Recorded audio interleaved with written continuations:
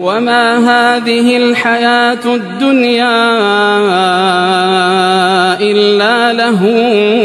ولعب وإن الدار الآخرة لهي الحيوان لو كانوا يعلمون